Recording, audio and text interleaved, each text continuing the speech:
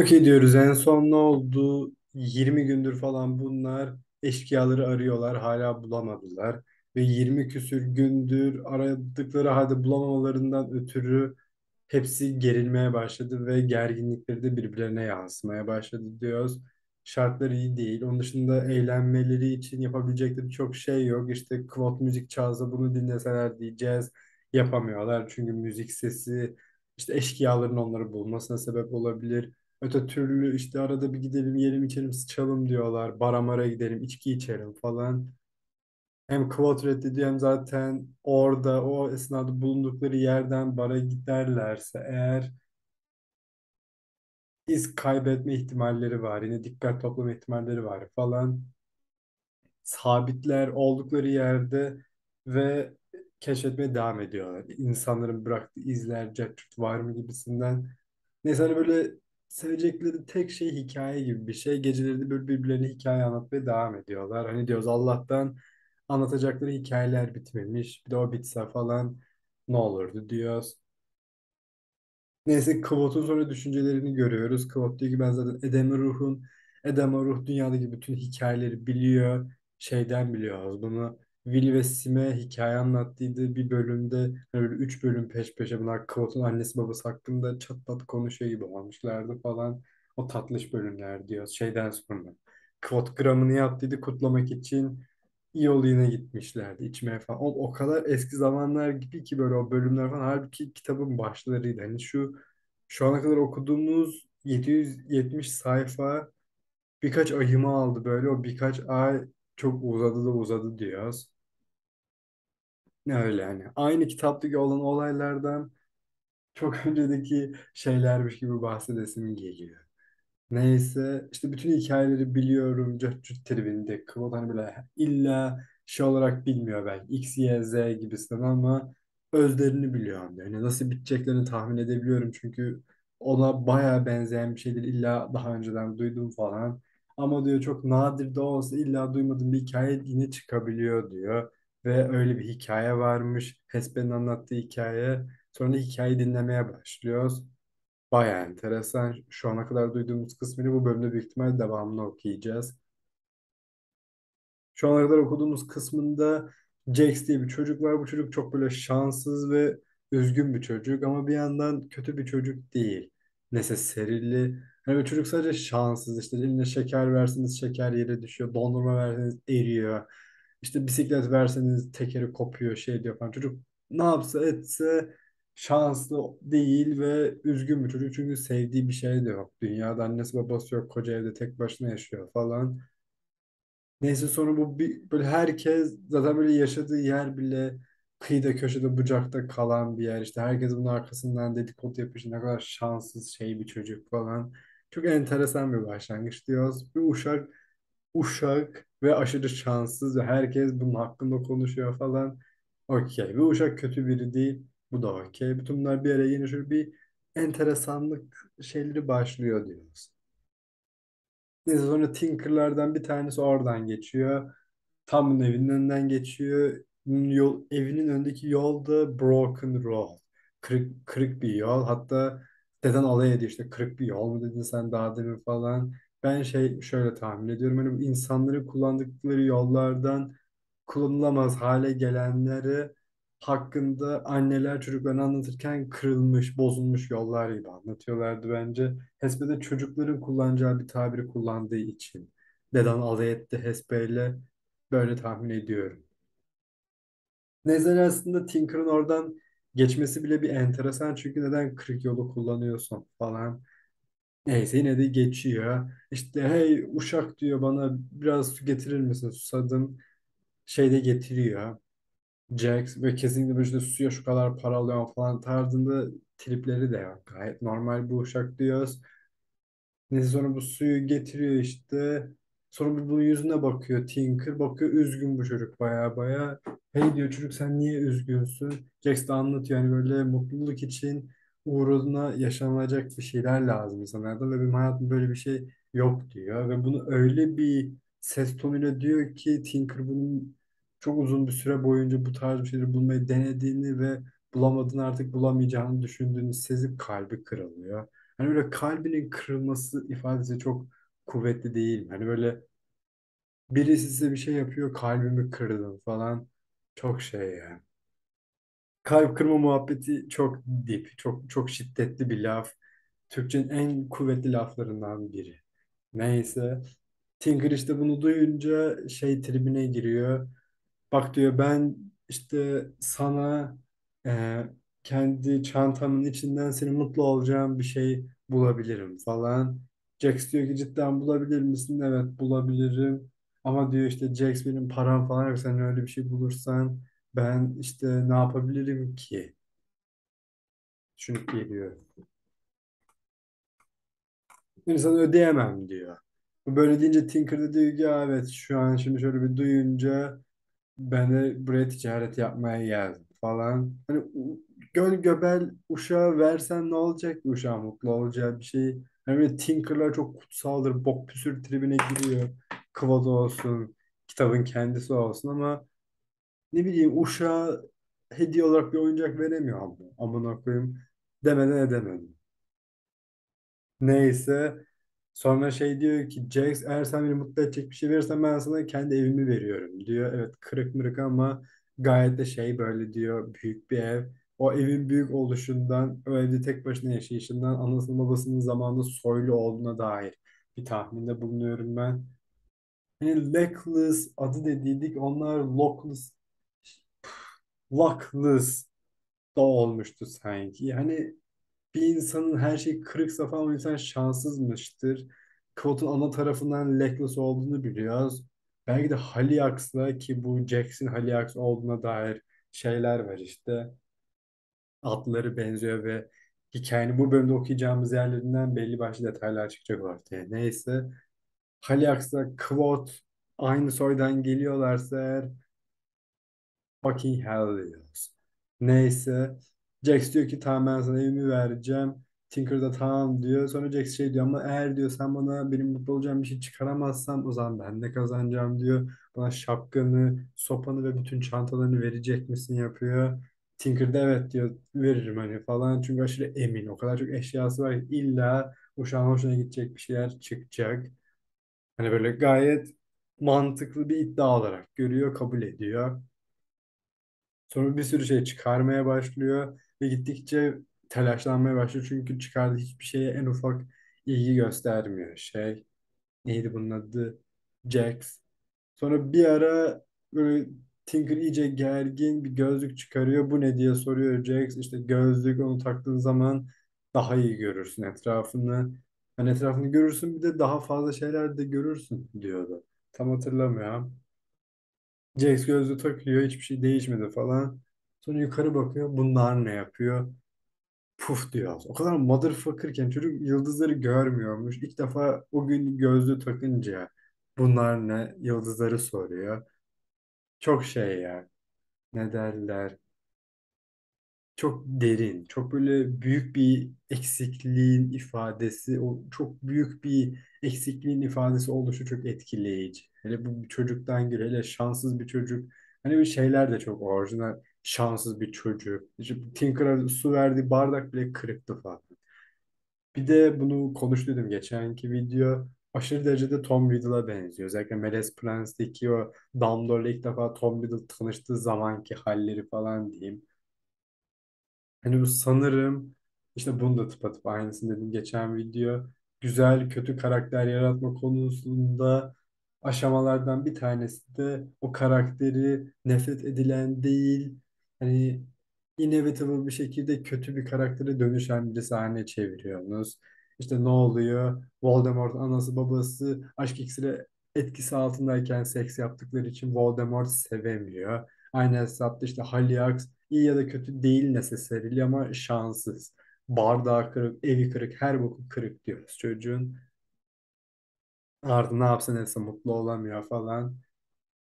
Öyle. Sonra bu işte gözlüğü takıyor, yıldızları görüyor. Oha bunlar güzelmiş falan. Sonra da bu ne? Yapıyor böyle resmen öyle bir ses tonu hayal ettim ben. O ay diyor. İşte tamam ben mutlu olacağım şeyi buldum yapıyor. Tigger birden mutlu oluyor. içi rahatlıyor falan. Tamam gözlük sende kalsın falan. Hayır diyor gözlük değil. Ben ayı istiyorum diyor. Hani böyle benim ayıyı gözlük takıp beğenmemle bir yemeğe bakıp bakaraktan doymayı beklemek arasında bir fark yok diyor. Gayet güzel anlatmış oluyor. Ben ayı istiyorum. Ayıdan başkası beni mutlu etmez yapıyor. "Ama ben sana ayı veremem. Bu durum iddiayı sen kazanıyorsun. Çantalarımı sopamı al yapıyor. Ama diyor hani şapka bana bıraksan olur ben şapkamı seviyorum çünkü falan.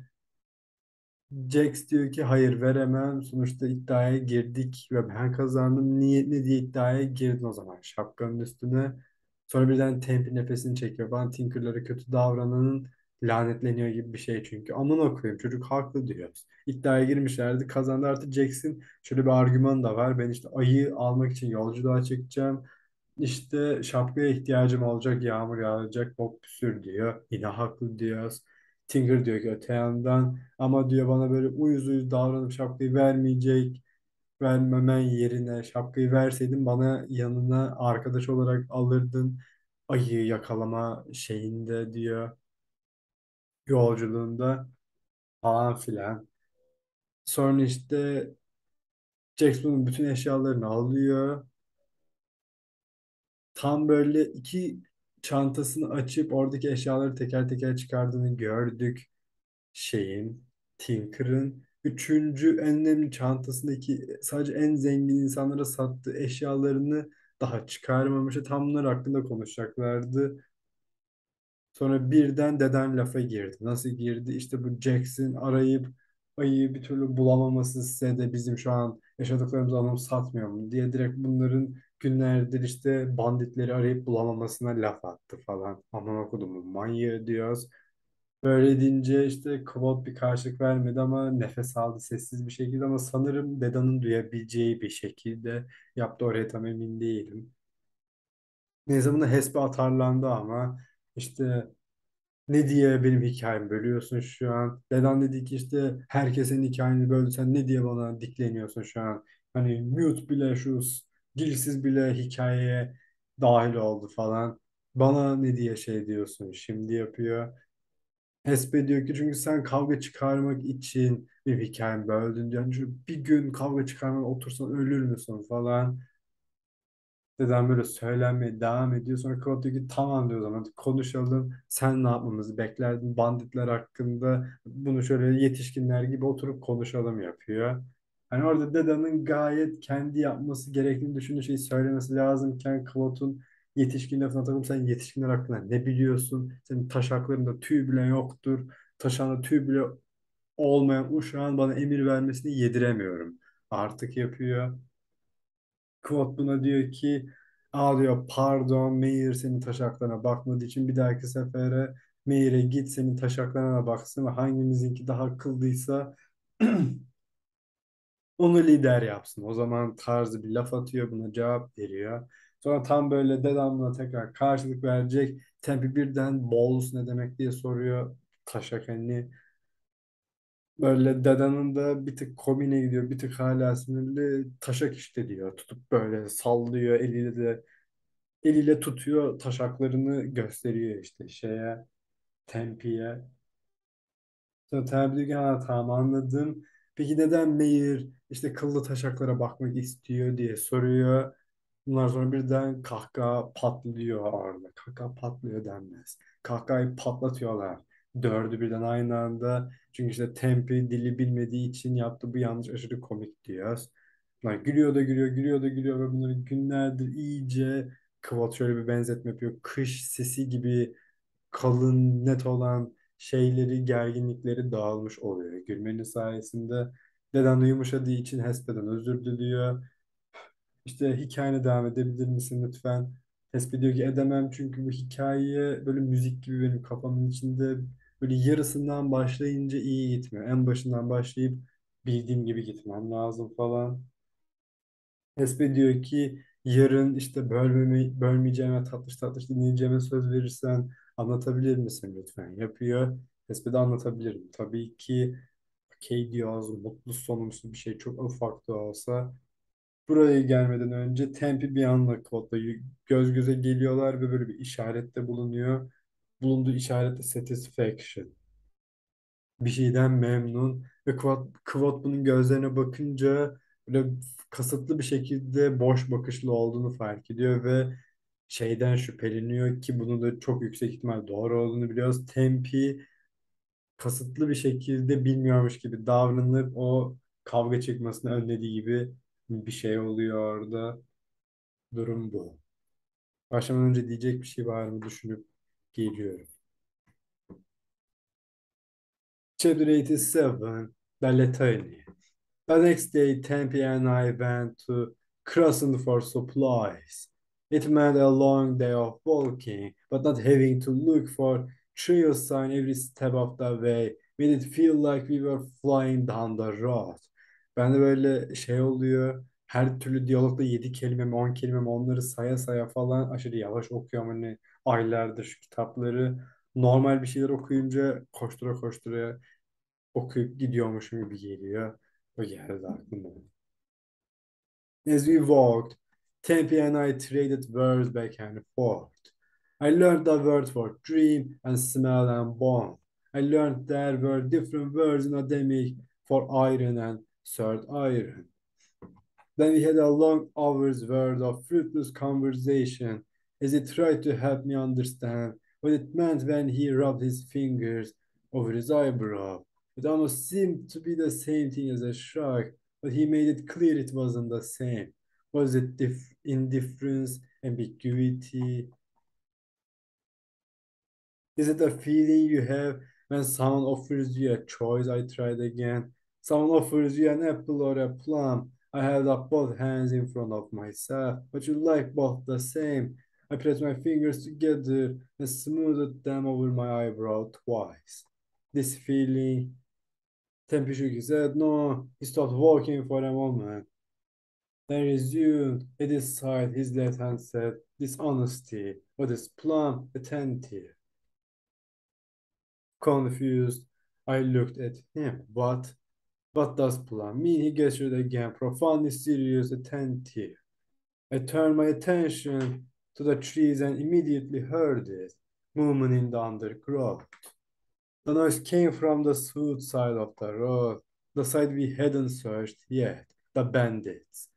Examining fear swelled in my chest. Will they attack, attack us? In my tatty cloak, I doubted I looked like much of a target, but I was carrying my lute in its dark, expensive case. Tempi had changed back to his tight mercenary dress for the trip into town. Would that discourage a man with a long bow, or would it seem I was a minstrel rich enough to hire an Adem bodyguard? We might look like fruit ripe for the picking.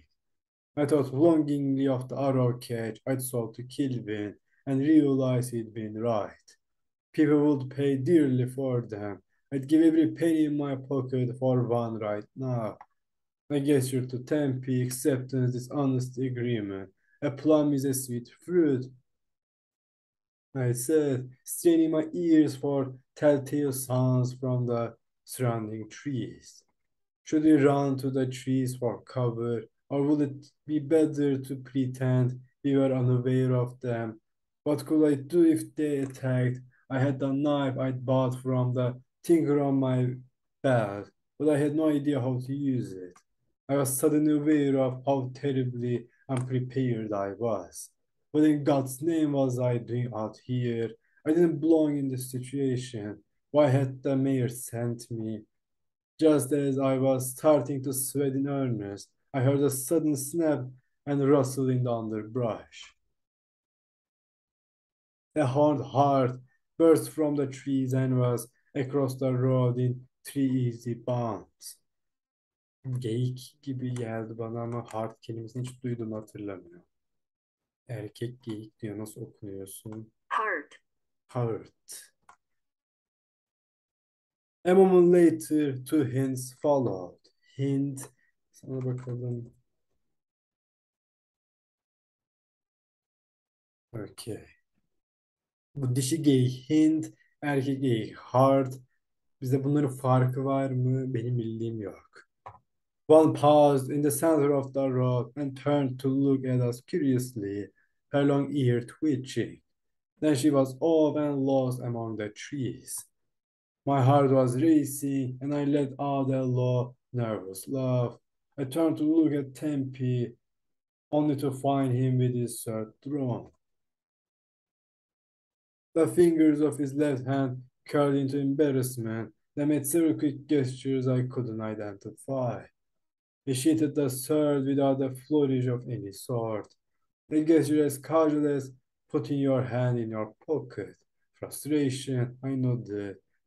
But as I was to not be sprouting arrows from my back, an ambush would at least have given us a clue as to where the bandits were. Agreement, understatement.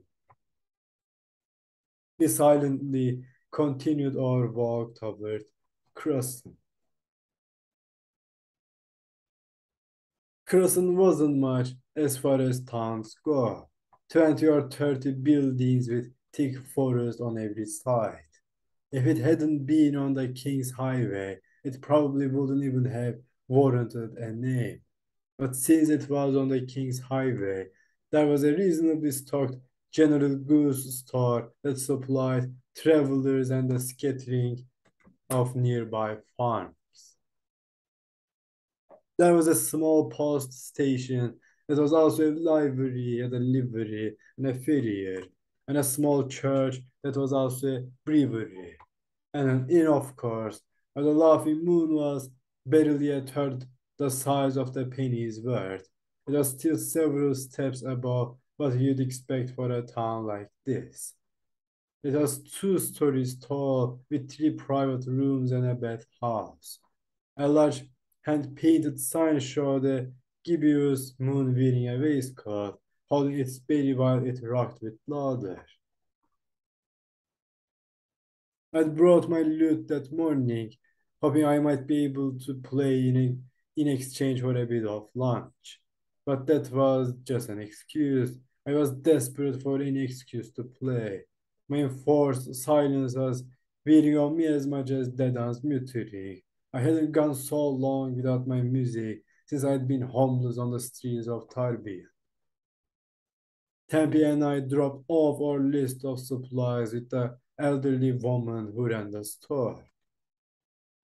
Four large loaves of trail bread, a half pound of butter, quarter pound of salt, flour, dried apples, sausages, a side of bacon, a sack of turnips, six eggs, two buttons, feathers for refletching Marten's hunting arrows, bootlaces, soap, and any whetstone, whetstone to replace one that one had broken. All told, it would come to eight silver bits from the mayor's rapidly thinning purse.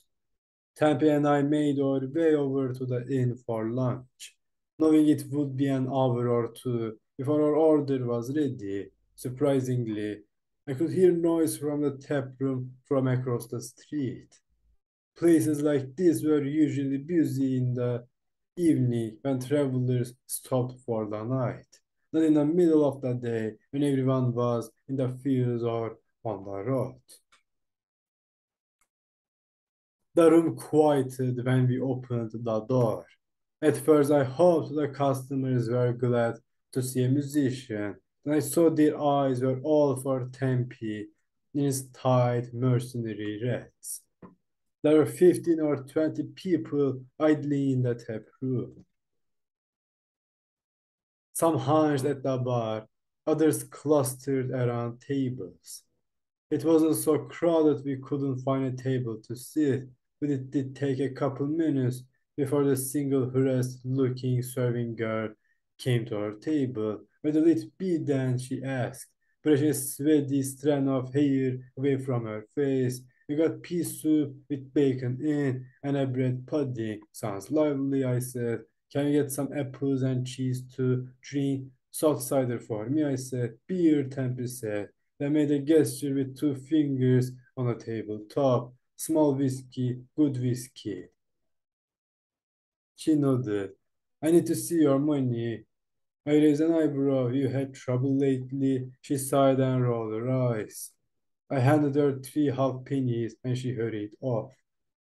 By then I was sure I wasn't imagining it. The men in the room were giving Tempi dark looks.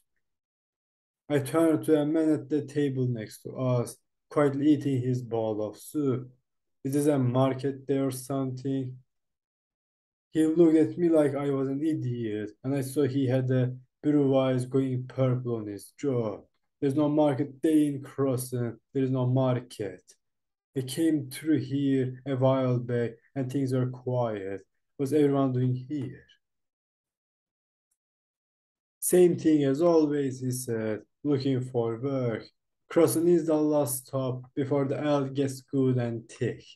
A smart caravan will pick up an extra guard or two. He took a drink, but too many folk been getting feathered off in the trees lately. Caravans aren't coming through so often. I looked around the room. They weren't wearing any armor, but now that I was looking, I could see the marks of mercenary life on most of them. They were rougher looking than ordinary townsfolk. More scars, more broken noses, more knives, more swagger. The man dropped his spoon into his empty bowl and got to his feet. You can't have the place for all I care, he said. I've been here six days and only seen four vegans come through. Besides, only an idiot would head north as a pay a day. He picked up a large pack and slipped it over his shoulder, and all the folk gone missing, only an idiot would take on extra help in a place like this. I tell you this for free. Half of these reeking bastards will probably cut your throat the first night on the road. A broad-shouldered man with a wild black beard let loose a mocking laugh from where he stood at the bar. Just because you can't roll dice didn't uh, make me a criminal, so we, he said with a thick northern accent. You say something like that again, and I give it twice as much as you got last night, plus interest. The fellow I'd been talking to made a gesture you didn't have to be Adem to understand and headed out the door. The bearded man laughed. Her drinks showed up just then.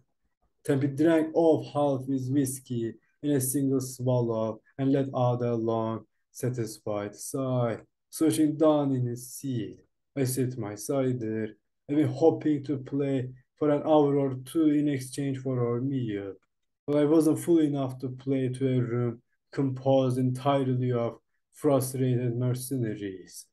I could have done it, mind you, in an hour. I could have them laughing and singing. Into hours, I could have them crying to their beer and apologizing to the serving, serving girl. But not for the price of a meal, not unless I had no better options.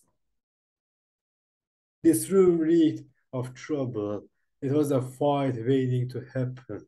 The trooper worth his salt could fail to recognize that. The broad-shouldered man picked up a wooden mug and sauntered with theatrical casualness over to our table where he pulled out a chair for himself.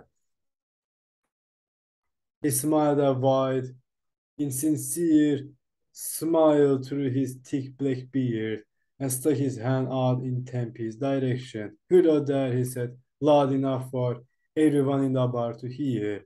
My name is Tam. Yourself.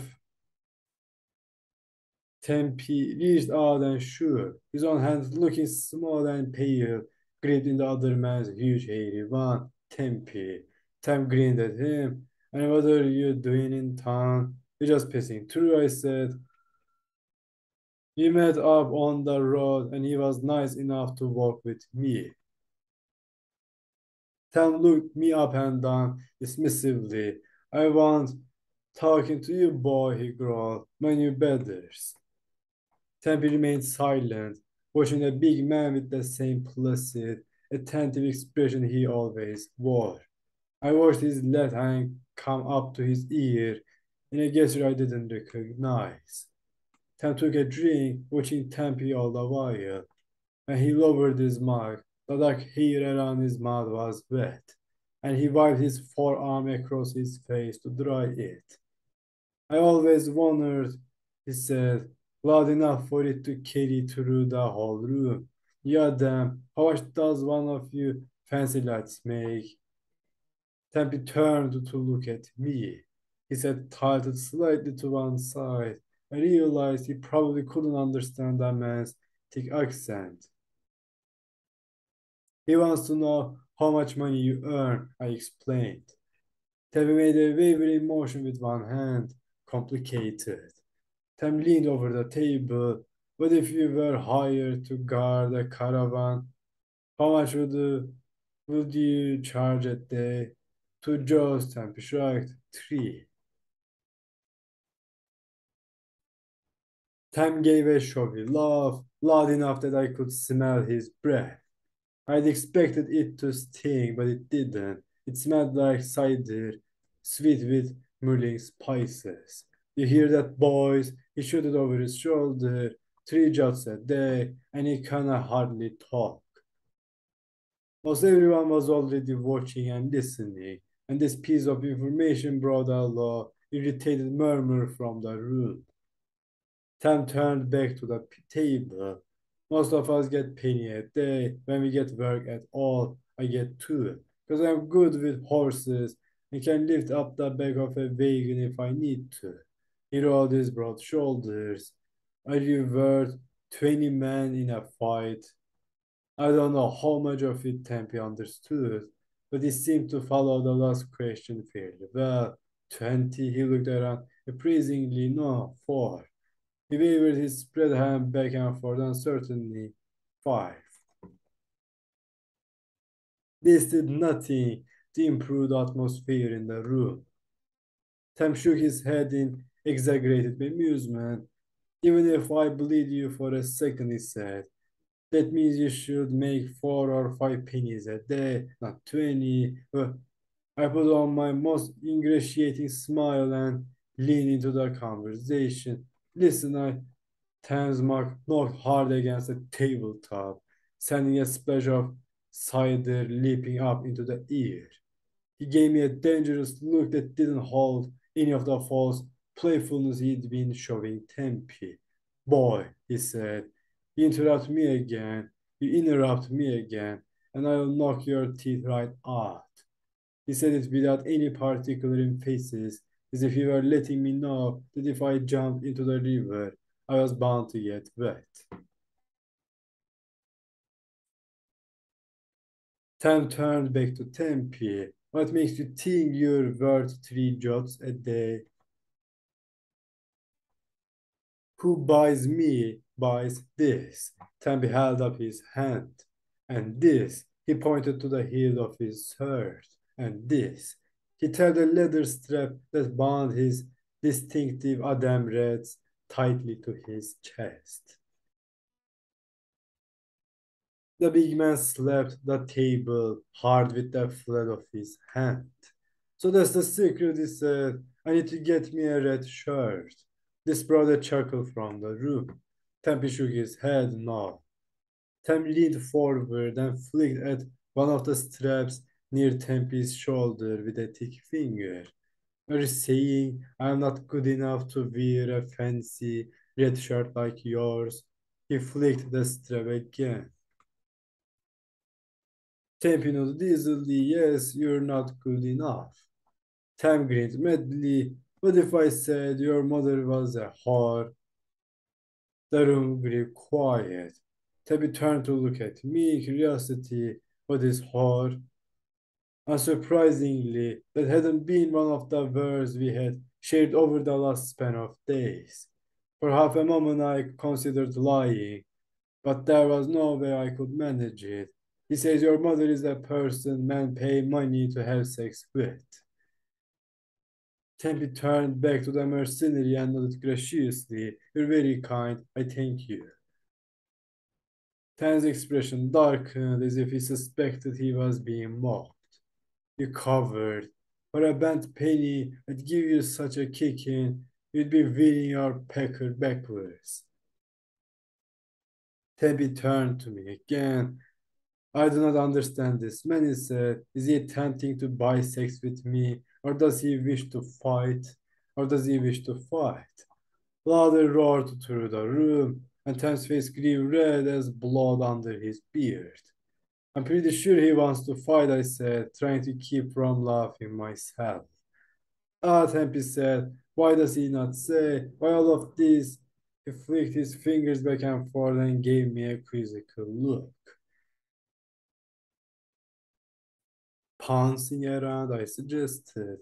Tempi's confidence was having a relaxing effect on me, and I wasn't about getting a little dig of my own in. After seeing how easily the Adem had dealt with Dedan, I was looking forward to seeing him thump some of the arrogance out of this horse's ass. Tempi looked back toward the big man. If you wish to fight, now stop pouncing around. Then I made a broad gesture to the rest of the room. Go find others to fight with you. Bring enough women to feel safe. Good.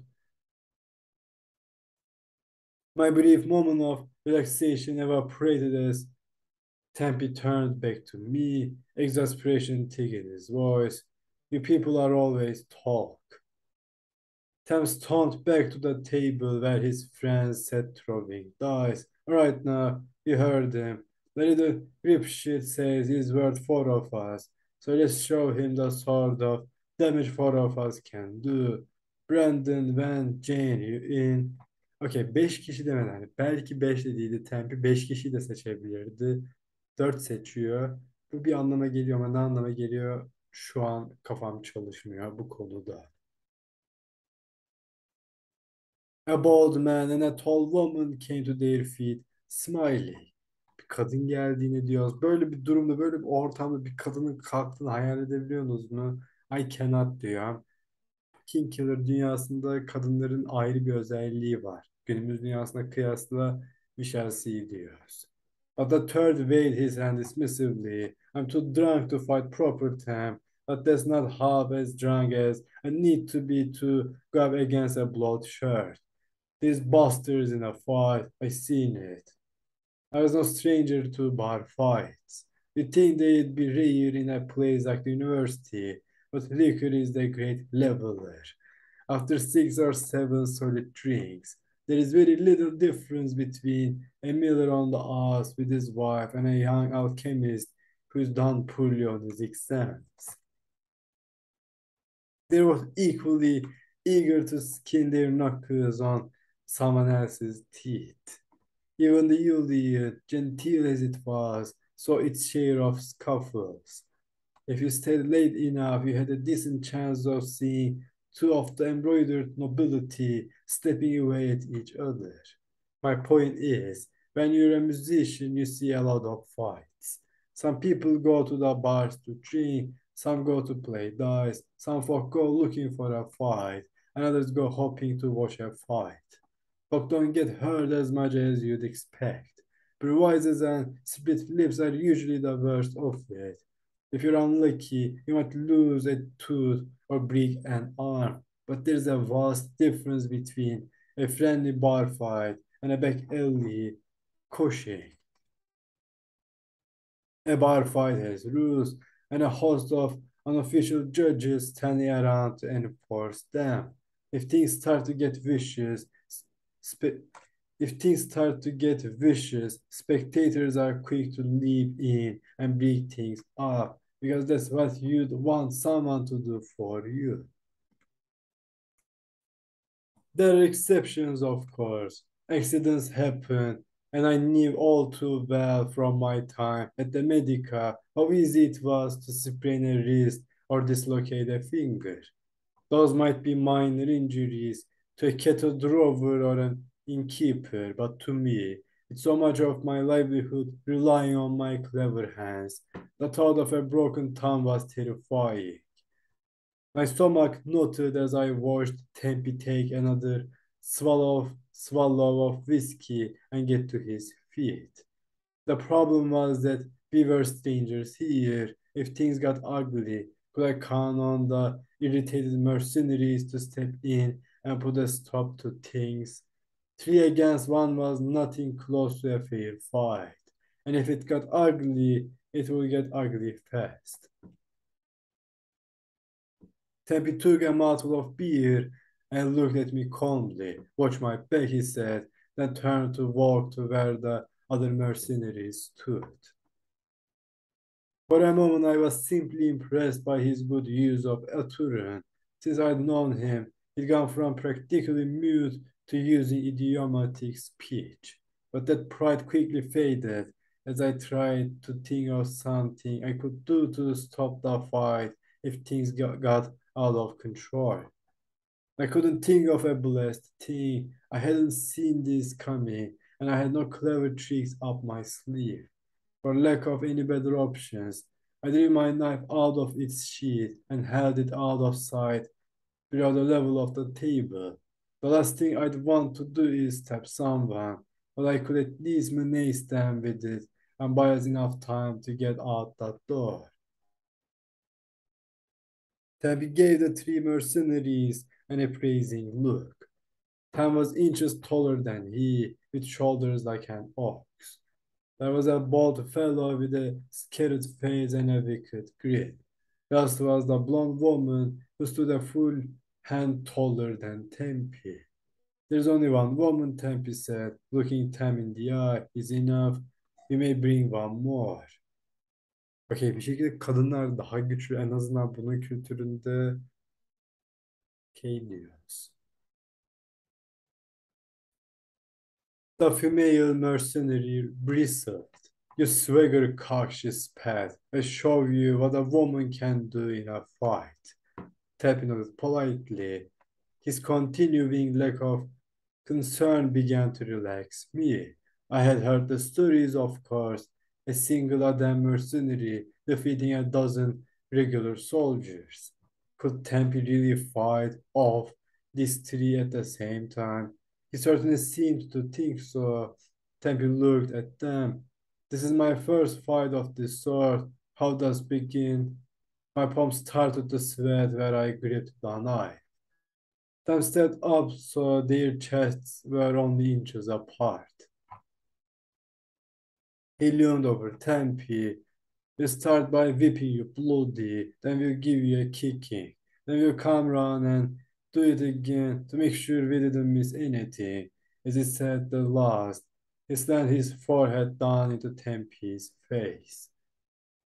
My breath caught in my chest, and before I could get it back, the fight was over. When the bearded mercenary snapped his head forward, I had expected to see temporal backward, nose broken and gushing blood. But Tam was the one who staggered backward, holding and clutching at his face, blood spurting from beneath his hands. Tempi stepped forward, got his hand on the back of the big man's neck, and spun him effortlessly into the ground, where he landed in a messy tangle of arms and legs. Without a hint of hesitation, Tempi turned and kicked the blonde woman squarely in the hip, making her stagger. When she was reeling, Tempi punched her sharply in the side of the head, and she folded bonelessly to the ground. Yes, and the bald man stepped in, arms spread like a wrestler. Quick as a snake, he got one hand on Tempi's shoulder and the other on his neck. I honestly can't say what happened next. There was a flurry of movement, and Tempi was left gripping the man's wrist and shoulder. The bald man snarled and struggled, but Tempi simply twisted the man's arm until he was bent over, staring at the floor. Then Tempi kicked the man's leg out from under him, sending him tumbling to the ground. All in less time than it takes to tell it. If I hadn't been so stunned, I would have burst into applause. Tam and the woman lay with the dead stillness of those deeply unconscious. But the bald man snarled something and began to make his way unsteadily back to his feet. Tempi stepped close, struck him in the head with casual precision, then watched the man slump limply to the ground. It was, I thought idly, the most polite punch I'd ever seen. It was a careful blow of a skilled carpenter pounding a nail, hard enough to drive it fully, home, But not so hard as to revise the wood around it. The room was very quiet in the aftermath. And the tall man, who had refused to fight, raised his mug in salute, spilling a little. Good on you, he said loudly to Tempi, laughing. Nobody will think less of you if you show Tam a bit of your booed what he's done there. Lord knows he's done it enough in his day. Tempi looked down as if considering it, then shook his head and walked quietly back to our table. All eyes were still watching him, but the looks were nearly as dark as before. Tempi came back to the table. Did you watch my back? I looked up at him blankly, then nodded. What did you see? Only then did I understand what he really meant. Your back was very straight, approval. Your back is not straight. He held up a flat hand, tilted to one side. This is why you stumble in the Ketan. It is. Looking down, he turned off. Having noticed my knife half concealed in my tatty cloak, he frowned, actually frowned with his face. It was the first time I'd seen him do it, and it was amazingly intimidating. We will speak on this later, he said. At his side, he gestured vast disapproval. Feeling more chastised than if I'd spent an hour on the horns, I ducked my head and put the knife away. We'd been walking quietly for hours, our packs heavy with supplies, when Tempi finally spoke. There is a thing I must teach you, Sirius. I'm always glad to learn, I said, making a gesture I hoped meant earnest. Tempi walked to the side of the road, set down his heavy pack, and sat on the grass. We must speak of the Lethani. It took all my control to not burst out into a sudden smile. I had been wanting to bring up the subject for a long while, as we were much closer than when I had first asked him. But I hadn't wanted to risk offending him again. I sat quietly for a moment, partly to maintain my composure, but also to let Tempi know I was treating this subject with respect. The Lethani repeated carefully. He said, I must not ask of it. You must not then. Now, perhaps, I am certain. I am pulled many ways, but now asking is. I waited for another moment to see if he would continue on his own. I waited for another moment to see if he would continue on his own. When he didn't, I asked the obvious question. What is the Latini? Okey buradaki milletin yerinde din olduğunu düşünün. Bakalım nasıl olacak merak ediyorum ben de. Serious. Tempe looked at me for a long moment. Then suddenly burst out laughing. I do not know. I cannot tell you, he laughed again. Understatement. Still we must speak of it. Şu ana kadar fena değil bence. I hesitated wondering if this was one of his strange jokes that I could never seem to understand. It's complicated, he said, hard in my own language, yours, frustration. Tell me what you know of the Litany. Okay. I tried to think of how I could describe what I'd heard of the Lethani using only the words he knew I heard the Lethani is a secret thing that makes Adem strong. Tempi nodded, yes, this is true. They say if you know the Lethani, you cannot lose a fight. Another not fucking hell, Dios. I shook my head, knowing I wasn't getting my point across. They say the Lethani is a secret power. Them keep their words inside. I made a gesture as if gathering things close to my body and holding them, then those words are like wood in a fire. This word fire makes Adem very strong. Very fast, skin like iron. This is why you can fight many men and win. Tempi looked at me intently. He made a gesture I didn't recognize. That is Matt talking, he said at last. Is that the correct word, Matt? He stuck out oh, his tongue and rolled his eyes. wiggling his fingers at the side of his head.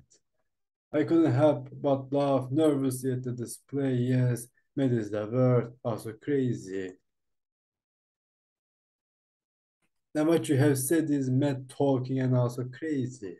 But what I saw today, I said, your nose did not break when struck with a man's head. That is no natural thing.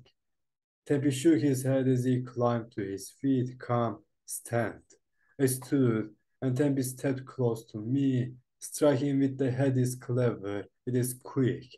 Can start if opponent is not ready, but I am not not ready. He stepped closer still until we were almost touching chests. You're the loud man, he said. Your head is hard. My nose is soft. He reached out and took hold of my head with both his hands. You want this? He brought my head down slowly until my forehead pressed his nose. He let go of my head. Striking with the head is quick. For me, little time. Can I move? He moved my head down as he pulled away. And this time my forehead came into contact with his mouth instead, as if he were giving me a kiss. This is not good. The mouth is soft. He tipped my head back again. If I am very fast, he took a full step back and brought my head down farther until my forehead touched his chest. He let me go and I stood back up. This is still not good. My chest is not soft. But this man has a head harder than many. His eyes twinkled a little, and I chuckled, uh, realizing he had made a joke. So Tempi said, stepping back to where we were before, what can Tempi do? Emotion struck with the head. Slow, I show. Vaguely nervous, I brought my head down slowly, as if trying to breathe his nose. Matching my slow speed, Tempi leaned forward and tucked his chin a bit. It wasn't much of a change, but this time, as I brought my head down, my nose met the top of his head. Tempi stepped back, see, cleverness, not mad thinking about fire. It was very fast, I said, feeling slightly embarrassed. I could not see. Yes, fighting is fast. Train to be fast. Train, not worth fire. He gestured earnest I met my eye, a rarity for him. I tell this because you are the leader. You need the knowing. If you think I have secret ways and iron skin, he looked away, shaking his head, dangerous. We both sat back down next to our packs. I heard it in a story I said by way of explanation, a story like we tell around a fire at night. But you, he pointed to me, you have fire in your hands, you have, he snapped his fingers, and I made a gesture like a fire roaring up suddenly. You have the doing of this, and you think the Adem have burned fires inside. Aynen öyle diyoruz. I shrugged. That is why I ask of the Lethani. It seems mad. But I have seen mad things be true, and I am curious. I hesitated before asking my other question. You said, who knows a litany cannot lose a fight? Yes, but not with word fires. Beleten is a type of knowing. Okey şu din muhabbet devam etsin. Leten yerine dini koyuyoruz. Oluyor mu olmuyor mu? Bakıyoruz. Şimdi bu leteni bilen dövüşü kaybedemez falan dini işin bu tarafına hiç katmıyorum. ama dövüş mövüş muhabbetini çıkarın. Sadece şöyle bir bilgi olarak nasıl bir konu var o tarzı bakıyoruz. The letany is a type of knowing diyor. Aynen öyle. Tempi paused. Obviously considering his verse carefully. Litany is most important thing. Aynen öyle. All of them learn. Keşke diyoruz. Mercenary learn twice. Böyle bir gerekçesi yok. Dinin Şehin learn three times. Şehin ne demek bilmiyorum. Most important but complicated. Evet. Litany is many things. Evet. But nothing touched or pointed to. Aynen. I then spend whole life thinking on the litany very hard. Düşünüp geliyor. Bence benim din dediğim olay da böyle herkesin benim gibi rahat bir şekilde ki benimki de rahat değildi. Anlayabileceği bir şey değil de birçok insanın hakkında duyacağı, var olduğunu kabul edeceği ama anlamadan hayatta devam edeceği bir şey. Bu durumda din bir şekilde bir toplulukta kullanılıyor olsa o da böyle Ademlerdeki gibi herkesin düşündüğü çünkü toplum insanları düşünmeye itiyor. Ama bir yandan her toplumun çoğu tam da böyle anlıyormuş gibi hissetmiyor. Kendisini dini ama öte yandan nasıl Letani'yi bir şekilde iyi dövüşebilmek için kullanabilmeye başlıyorlar. Dini de bir seviyeye kadar anlayabiliyorlar. Demek ki diyoruz. Ama bu bir düşünce deneyimi kesinlikle çok enteresan sonuçları da olabilir. Bu tarz girişimlerin gerçek dünyada bu açıdan öyle. Problem, said. It is not my place to teach my leader, but you are my student in language. Come and teach the Lethani. I am not such. It is part of civilization, and you are a barbarian, gentle sorrow. But you want to be civilization, and you have need of the Lethani. Explain it, I said. I will try to understand. He nodded. The Lethani is doing right things. Okey diyoruz. Bu uyuyor dini ama ben direkt dini anlatmak için The Latin is doing right things demezdim diyor. Hani böyle bir şekilde yaptığın şey zaten doğru oluyor. Din böyle. Çok iyi değil Rob. Resmen dine denk bir şey var şu an karşımızda. İkisini kıyaslayarak dini anlatıyor. Yuppi diyoruz. I waited patiently for him to continue. After a minute, he gestured frustration. Now you ask questions. He took a deep breath and repeated, The Lethani is doing right things. I tried to think of an archetypical example of something good. So the Lethani is giving a hungry child food to eat. He made the wavering motion that meant yes and no. Lethani is not doing a thing. Lethani is the thing that shows us. Diyoruz. Din. Din gibi bir şey diyecektim az kalsın. Means rules, laws. No böyle bir God gibi bir şey diyoruz ama tam God da değil.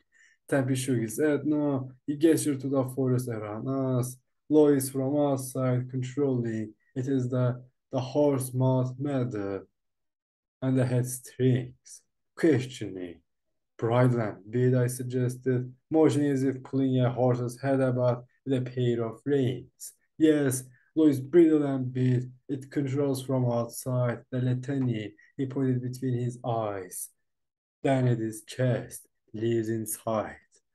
Between his eyes derken üçüncü göze mi işaret ediyor? Tanrım sivilcem var. Canım acıdı. Then it is chest. Bu da yürek diyor sanırım. Lives inside. Lethani helps decide.